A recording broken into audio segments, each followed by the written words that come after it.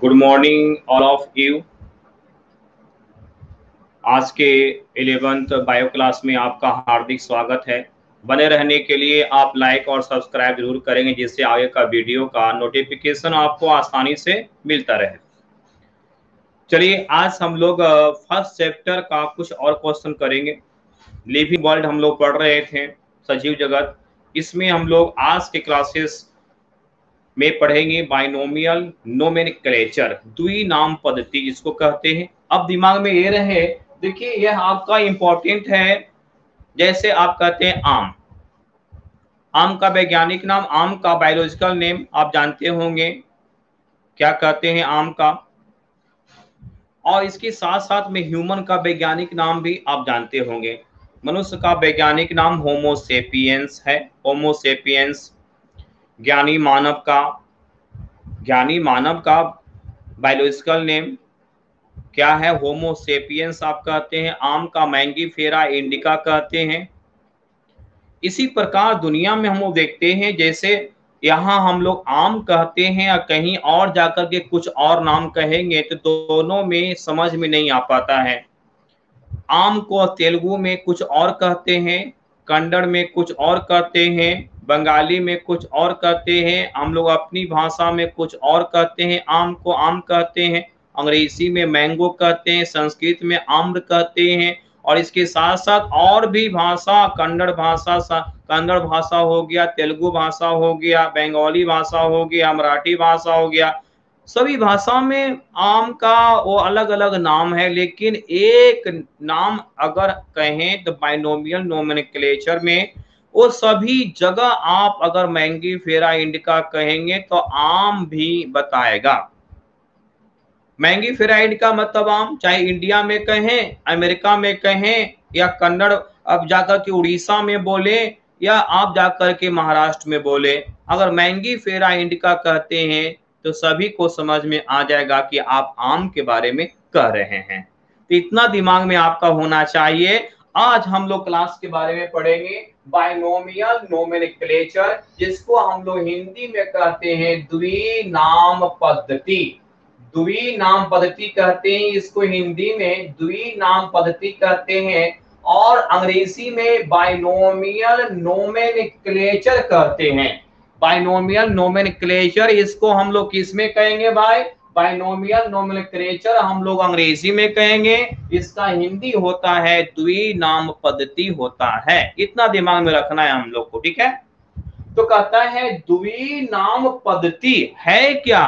तो संसार में प्रत्येक जीव जो होता है, उसका उसका एक दो नाम से उसको जाना जाता है। और इसी को कहा जाता है द्वि नाम पद्धति कहा जाता है।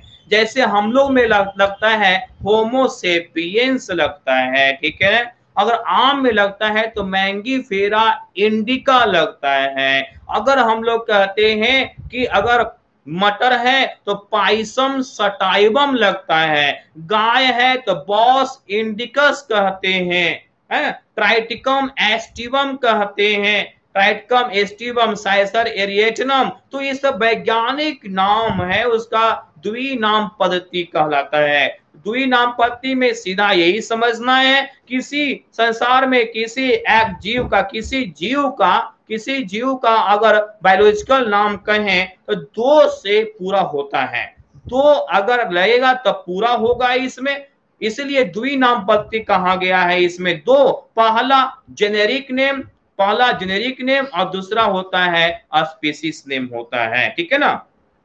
तो पहला जीन का नाम होता है, वंश का नाम होता है और दूसरा होता है जाति का नाम। पहला वंश का नाम, दूसरा जाति का नाम, पहला वंश का नाम, दूसरा जाति का नाम। जैसे हम लोग कहते हैं होमो सेपियंस कहते हैं तो होमो क्या वंश और सेपियंस क्या? सेपियंस क्या? जाति। होमो इरेक्टस कहते हैं। अगर हम लोग कहते हैं, हम लोग कहें, अगर ले तो होमो सेपियंस कहते हैं। होमो सेपियंस लग गया। अगर हम लोग कहते हैं, होमो इरेक्टस कहते हैं तो देखिए वहाँ पर होमो हैबिलस कहते हैं। ध्यान देते हैं? होमो हैबिलिस कहते हैं। तो हम लोग क्या इसमें जाने? हम लोग देखते हैं कि होमो होमो होमो, तीनों में होमो लगा हुआ है। अर्थात इसका यह वंश जो है, इसका जीनस जो है, वंश का है। अर्थात इसका जीनस कहते हैं, वह जीनस तीनों का तो एक समान है। इसमें जाति जो है, इसका जाति अलग है, इसका जाति अलग है, इसका जाति अलग है। ये जाति में अंतर है, लेकिन वंश क्या है, इसमें एक समान है, देख सकते हैं आप लोग यहाँ पर। तो यहाँ पर होमो होमो लगा, सब में लगा हुआ है। Homo Homo, sapiens, Homo, erectus, Homo habilis तो इसका मतलब क्या हुआ भाई? समझिए। तो यहाँ पर कहता है कि पहला जो होगा इसमें, पहला क्या? वंश का नाम। जो पहला आ गया है, वो वंश का नाम है, और दूसरा इसका जाति का नाम है। पहला वंश का नाम, दूसरा जाति का नाम। एक वंश में अनेक जाति भी हो सकते हैं। एक जीनस में कम से कम एक जाति तो होगा ही। एक जीनस में, एक वंश में एक जाति तो होगा ही। लेकिन एक वंश में, एक वंश में एक से अधिक जातियाँ भी हो सकता है। जैसे आप देखिए, होमो क्या है? वंश है। होमो वंश है। और सेपियंस क्या है? जाति है। सेपियंस जाति है, इरेक्टस जाति है, हेविलस जाति है। तो यहाँ पर कहा गया कि होमो हो गया यहाँ। होमो वंश तो वंश क्या? सब में होमो लगा हुआ, तीनों में होमो लगा हुआ। इसका मतलब है कि सेपियंस, इरेक्टस और हेविलस, ये तीनों जो जाति है तीनों जो जाति है मानव विकास का, ये तीनों जो जाति है, इसका वंश एक है। इसका वंश क्या है? एक है। वंश का नाम क्या है? होमो है। होमो वंश है। तो होमो वंश हो गया यहाँ पर। वंश एक है, जातिया इसका अनेक है। एक ही वंश से अनेक जाति का यहाँ पर विकास हुआ। तो दो नाम हो गया। तो पहला नाम क्या? वंश। और दूसरा नाम जाति। दो को नाम ना हो गया। एक ही जीव को दो नाम से जाना जाता है। जैसे ज्ञानी मानव का नाम कहेगा, ज्ञानी मानव का बायोलॉजिकल नाम क्या होगा? वैज्ञानिक नाम क्या होगा? होमोसेपियंस कहते हैं। और होमोसेपियंस कहते हैं, दो चीज़ लगा होता है। होमोसेपियंस होमोसेपियंस मेढक कहेगा तो कहेगा मेढक तो राना टिग्रीना। राना टिग्रीना कहते हैं कहते हैं बाघ टाइगर टाइगर कहते हैं। टाइगर का भी यहाँ पर? Panthera tigris. टाइगर, लॉयन का, पैंथेरा लियो। अरे भाई तो पैंथेरा पैंथेरा तो जीनस एक के है। जीनस एक है, वंश एक है। जैसे हम लोग कहते हैं, ध्यान देते हैं, अगर हम लोग कहते हैं टाइगर का लेते हैं, ठीक है? एक टाइगर का लेते हैं तो टाइगर कहते हैं पैंथेरा टिग्रीज। इसका नाम हुआ बायोलॉजिकल नेम, बाघ का, टाइगर का। तो टाइगर का हम लोग कहते हैं पैंथेरा टिग्रीज है, और लायन का कहते हैं लायन का पैंथेरा पैंथेरा लियो कहते हैं। लिए भाई। तो पैंथेरा लियो हो गया और पैंथेरा टिग्रीज हो गया। तो आप कह सकते हैं कि सर, ये पैंथेरा पैंथेरा दोनों जो है यह स्पीसीस नहीं है। ये क्या है? जीनस है। वंश दोनों का एक समान है। चाहे कहे लॉयन का या टाइगर का कहे वंश एक के वंश है, सर। और वंश का नाम है पैंथ हेरा वंश का नाम है। और अगर कह दे टिगरी तो कह दे कि टाइगर हो गया। अगर लियो कह दे तो कहे लॉयन हो गया।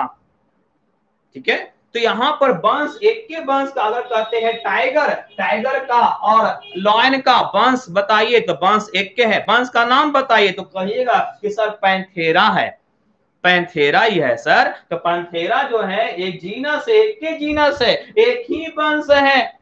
जैसे यहाँ पर बताया कि होमो होमो होमो एक के वंश है, और सेपियस, इरेक्टस हेविलस जो है सब अलग अलग है। तो एक वंश में अनेक जातियाँ तो एक वंश में कम से कम एक जाति या एक से अधिक जाति भी हो सकता है। कम से कम तो एक जाति होगा ही। एक वंश में कम से कम एक जाति होगा ही। लेकिन एक से अधिक जातियाँ भी हो सकती है। एक ही वंश में और इसका दो नाम से आया, इसलिए कहते हैं इसको बाइनोमियल नोमेनक्लेचर सबसे पहले इसका वर्णन किसने किया था? कार्लस लिनियस ने किया था, इसलिए कार्लस लेनियस को बाइनोमियल नोमेनक्लेचर का फादर कहा जाता है।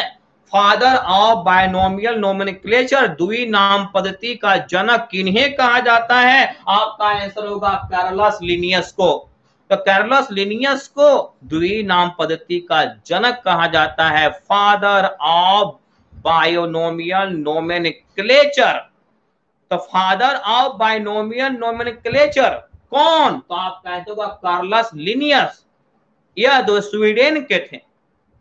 अब इन्होंने क्या पता लगाया? इन्होंने अपना बुक में द सिस्टेमा नेचुरी में इसका वर्णन किया। किताब का नाम सिस्टेमा नेचुरी है।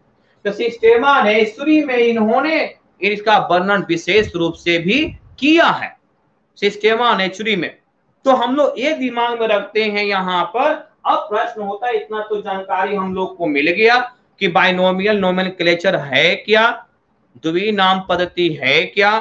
तो संसार का जो प्रत्येक जीव होता है प्रत्येक जीव होता है, वह जीव का एक जो है, वंश का नाम, दूसरा स्पीसीज का नाम होता है। और दो नाम मिल करके उस व्यक्ति, उस जीव को संकेतिक करता है, उस जीव को बताता है। इसी को हम लोग कहते हैं द्वि नाम पद्धति कहते हैं।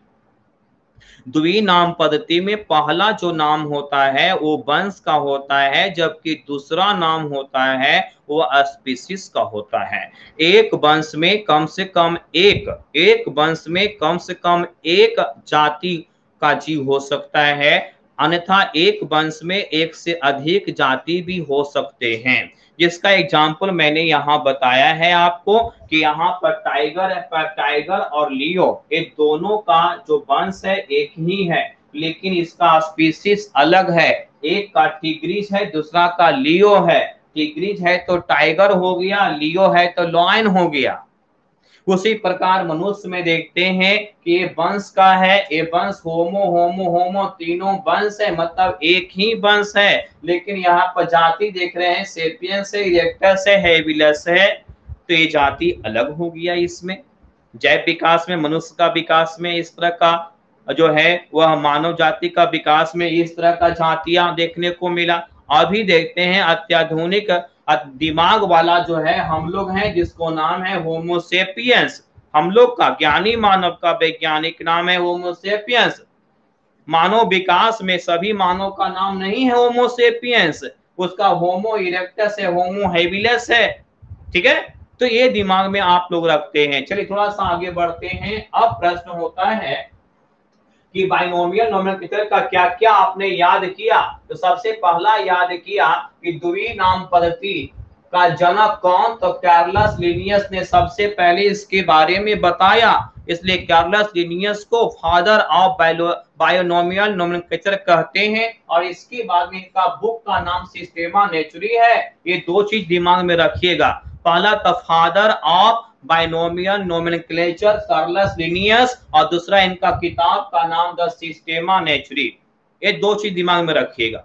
और ये भी दिमाग में रखिए, किसी जीव का दो नाम दो नाम से उसका पूरा नाम कंप्लीट होता है। बायोलॉजिकल नाम जो है, वो दो नामों से कंप्लीट होता है। पहला वंश का नाम और दूसरा जाति का नाम। पहला जीनस का नाम और दूसरा स्पीसीज का नाम। अगर जीनस कहा जाए तो एक जीनस में एक एक कम से कम एक स्पीसीज होना ज़रूरी है। दूसरा कहा जाए, एक जीनस में क्या एक से अधिक स्पीसीज हो सकते हैं? तो हाँ ऐसा हो सकता है। जैसे आपको एग्जांपल भी बताए हैं यहाँ पर। थोड़ा सा आगे देखते हैं इसमें। अगर कहा जाए कि आप लिखने का इसका नियम भी है, देखिएगा, इसका लिखने का नियम भी है। ऐसा नहीं कि जैसे पाएँगे वैसे इसको आप लिख देंगे। इसका नियम है, इसका लॉ है, इसका लिखने का द्वि नाम का लिखने का इसका नियम है। अब देखिए इसका नियम क्या है? द्वि नाम पद्धति का नियम है इसमें, ठीक है ना? तो नियम में क्या है? सबसे पहला हम लोग ध्यान देते हैं, इसमें नियम में जो भी लिखा जाता है, वह लैटिन शब्द में लिखा जाता है और लैटिन शब्द में और इन इटैलिक्स। ये लैटिनाइज शब्द होता है। लैटिन शब्द होता है लैटिन शब्द होता है यह। लैटिन शब्द होता है और यह जो है, अब किसमें लिखा जाता है? तो ये लिखा जाता है आपको इटालिक्स में लिखा जाता है। इटालिक्स आप समझते होंगे इटालिक्स भाषा समझते होंगे, तिरछा तिरछा रगड़ कर जो लिखता है सीबीएसई e विद्यार्थी, वह इटालिक्स शब्द है, ठीक है ना? तिरछा तिरछा पूरा घुमा घुमा कर लिखता है ना? जैसे यहाँ पर अगर लिखना है, कैमल लिखना है तो कैमल घुमा घुमा के ऐसे लिखता है। तो इसको हम लोग कहते हैं इटालिक सेंटेंस कहते हैं इटालिक्स कहते हैं। तो इटालिक्स में लिखते हैं, ठीक है ना? तो ये समझ में आपको आ गया होगा इटालिक्स क्या है इसे इसमें, ठीक है ना?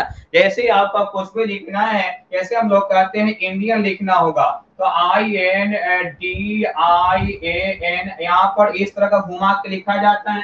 और भी घुमा के लिखा जा सकता है। तो इसको हम लोग कहते हैं क्या? इटालिक्स कहते हैं, ठीक है ना? जैसे हम लोग को कंट्री लिखना है तो C O U N T R Y एक कंट्री लिखा गया, बहुत सारा लड़का कहेगा, सर, हमको समझ में नहीं आ रहा है, कौन सी लिखल है? मॉन्ट्री की कंट्री की संट्री क्या लिखा हुआ है ना? लेकिन यार इटाली शब्द में सब कोई पढ़ लेगा कि कंट्री लिखा हुआ है। इसको हम लोग कहते हैं और इटालिक शब्द में लिखा जाता है तो यहाँ पर ये लैटिन शब्द होता है, जिसको यह इटालिक्स में लिखा जाता है। इटालिक्स में क्या किया जाता है? इसको लिखा जाता है। तो इटालिक्स में यह लिखा जाता है, ठीक है ना? रिटर्न इन इटालिक्स ठीक है ना? और यहाँ पर कहा जाता है कि ये जो पहला शब्द जो होता है या पहला पहला नाम जो होता है, अगर पहला नाम अगर कहते हैं पहला नाम अगर कहते हैं तो ये जीनस, अभी जस्ट बताएँ। जीनस, जबकि बाद वाला दूसरा नाम जो होता है, इसका दूसरा जो नाम होता है, लिखाता है तो पहला नाम जीनस होता है और दूसरा नाम होता है, उसको स्पीसीज या जाति का नाम कहते हैं। तो पहला नाम जीनस, पहला नाम जीनस, अभी जस्ट बताए हैं, दूसरा नाम स्पीसीज ये दूसरा नियम हो गया, ठीक है? ये दूसरा नियम भी आपको समझ में आ गया होगा इसमें। अगर इसमें हैंड हैंड राइटिंग से लिखते हैं हम लोग, अगर अपने हाथों से लिखते हैं तो उसमें क्या किया जाता है? ध्यान देते हैं। अगर हैंड रिटर्न करते हैं तो हैंड रिटर्न करते हैं तो दोनों को अलग करके, जैसे हम लोग क्या लिखते हैं, अगर हम लोग लिखे होमोसेपियंस लिखे तो ऐसे लिखते हैं होमो सेपियंस देखिए तो ये इटालिक्स में नहीं लिखाया। अगर इटालिक्स में नहीं लिखाया हुआ इटालिक्स में नहीं लिखाया तो इसको हम लोग दोनों को करेंगे अंडरलाइन अगर इटालिक्स में नहीं लिखना है, अपने हैंड राइटिंग से ही लिख देना है तो इसको हम लोग क्या करेंगे? जैसे लिखते हैं, बस सीधे में लिखे इटालिक्स में नहीं लिखा हुआ है, सीधे लिखा हुआ है, और इसको दोनों को अंडरलाइन कर देंगे, बस।